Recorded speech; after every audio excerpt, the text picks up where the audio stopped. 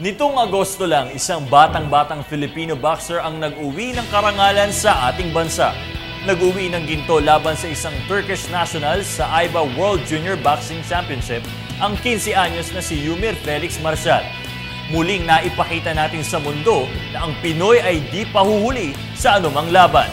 Sa murang gulang na ito, siya ang kauna-unahang Filipino na nanalo sa World Junior Boxing.